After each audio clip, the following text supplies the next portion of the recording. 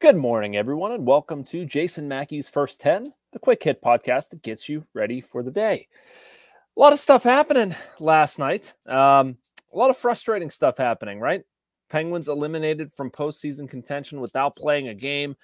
The Pirates pulled Jared Jones. It does not work out. Um, well, I had a, a lighter afternoon as I, I, wrote a story about Justin Watson, a receiver from South Fayette, who just keeps winning Super Bowls with the Kansas City Chiefs. So let's dive into all of that. Going to be a lot on the Penguins and Pirates front. But first, want to remind you of our sponsor. You don't have to be a baseball fan to love the North Shore Tavern, but the interior is wall to wall pirates, their appetizers, entrees, cocktails, and of course, steak and seafood on a sizzling lava stone. Open every day. The North Shore Tavern across from PNC Park is Pittsburgh's home for steak on a stone. All right, so let's kick it off with a team that is the newsiest without even playing a game. The Pittsburgh Penguins will not make the playoffs for a second consecutive season. Major bummer. Um, you, for a multitude of reasons. I mean, you're wasting some of the best years. At least Sidney Crosby played hockey at a, a, a level that was very, very high. Evgeni Malkin found it later. Obviously, had his struggles, um, but uh, you look at the ages of these guys, of the the players they're paying the most, and they're not getting any younger and you're you're just not making good on those years. Um, you can look at overtime, you can look at the power play, and and look at fail the failure to protect leads in the third period. And there's just so many areas you can circle and say, man, if they just would have done this, if they would have done that, would have been great. Um, but yeah, that's just too little, too late, not able to get in, and maybe it'll be some realization. But I just I, I don't know if I, yeah, it's it's going to be a busy offseason. I, I think I'll, I'll say it that way. And I, I don't think it's probably going to be the change that people want. I understand the, you know, Mike Sullivan's got to go idea uh, based on what Kyle Dubas has said publicly and people from Fenway Sports Group have said publicly. It certainly does not seem like that's going to happen.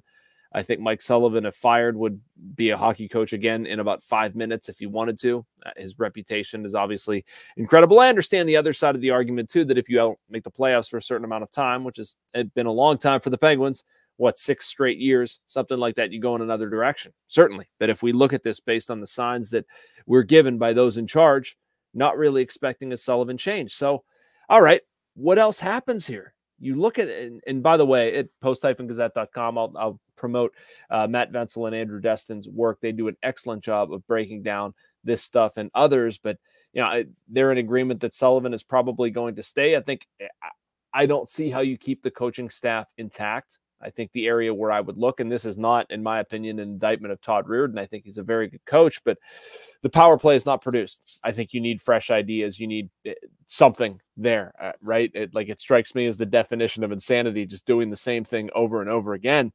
And so, okay, you make a change on the power play. How impactful is that going to be? Not sure. What's our next step? Um, you know, are you going to break up the core? I'm not sure. Um, I, I would hope that they don't go away from 87 71. I mean, at this point, I think it's probably more likely or it makes more sense to extend Sid. He should finish his career in a Penguins uniform, not really saying anything that huge. But, you know, I, Karlsson, maybe if you consider him part of the core, I do think they're in a unique position with the salary cap and trying to create some space. If you have an offer for him, if the Ottawa thing is real, I'm not against it by any stretch. I think they're somewhat limited in what they're able to do. And I think they have, I wrote this a couple days ago, I think they have some major areas that they need to address. One of them, nice little pivot here, goaltender. What do you do? I don't know how you come back from the decision to go with Ned um, uh, the other night. I, I really don't. And and these days all run together. I'm trying to remember who they played. Oh, Nashville. Uh, it came to me, but no, I, such a big game. And I feel like you're saying something fairly substantial by not going with Tristan Jarry. And then all of a sudden, are we going to run it back where Jarry is their number one guy and, and everything is fine? I, I don't know. I, I come down like this with the Penguins that they need to do some stuff to get different, to get younger, to get more skilled in some areas, to find better fits. I'm not saying Jarry is that glaring of a problem, but they're limited in what they can do.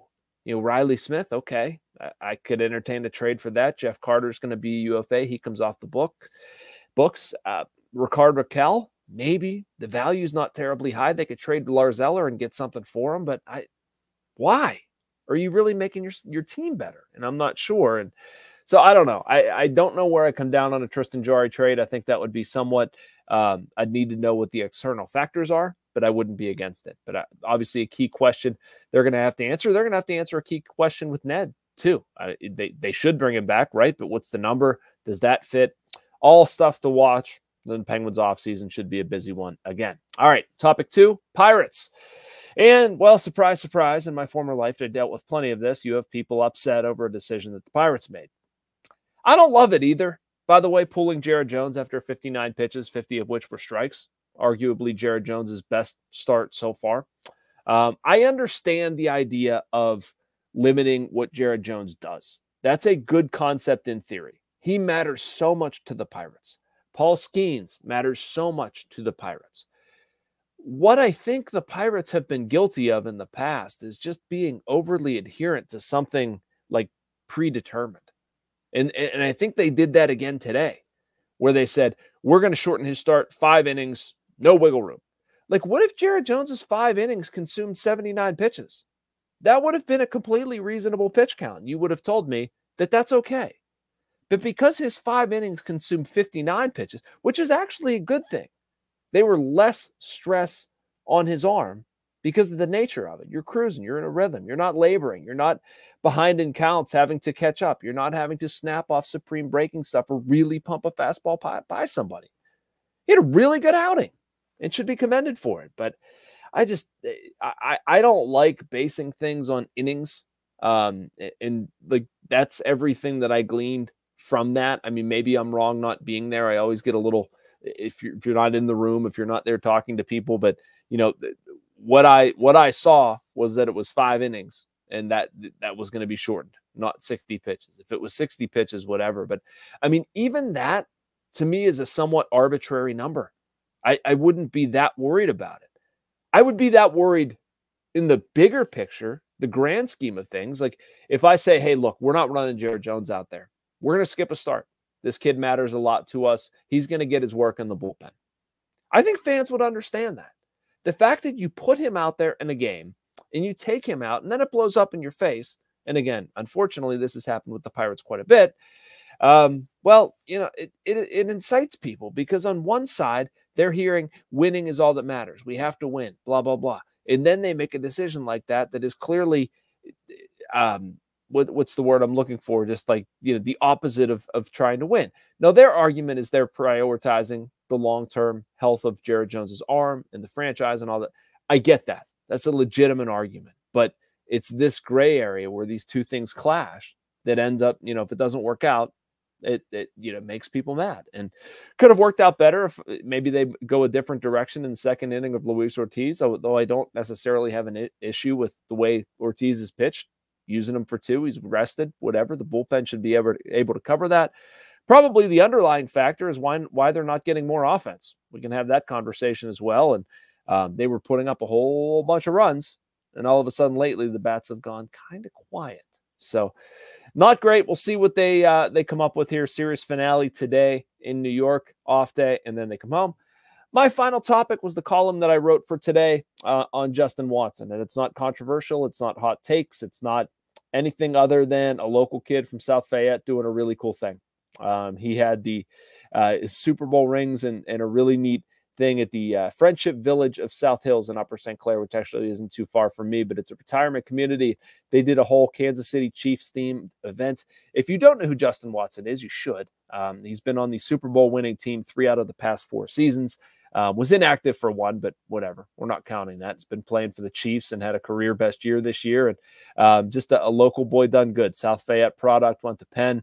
Actually, remember covering Watson in South Fayette um, or at South Fayette a little bit. Just a really, really, really good kid. Uh, raised right. Talked to him about his grandma. And funny little anecdote too. Um, uh, being you know covering the Pirates and talking about the Pirates. He was answering some questions in front of the room, and somebody answered, asked one, and he's like, "I love your Pirates hat. You know, I might be a Chiefs fan, not a Steelers fan now, but I'll always be a Pirates fan." And so I went up to him after, and he's like, "Man, I read your stuff all the time." And so that that was kind of cool um, to give you know know that you're you're giving a, an NFL player um, his fix of of baseball in the area. So um, he's very encouraged by the start. I, I'm guessing Justin Watson didn't love Jared Jones being pulled either, but such is life. in the baseball world. In any case, check that out. It's just a fun, fun story about a, a kid doing a really neat thing. Um, we don't have to be mad all the time. I promise. There was plenty to be mad about elsewhere. Um, a lot to unpack again today. Uh, we'll be back at it tomorrow with another video. Make sure you like and subscribe. You can get this podcast and all the other content from our Post Gazette writers. And uh, yeah, talk to you tomorrow.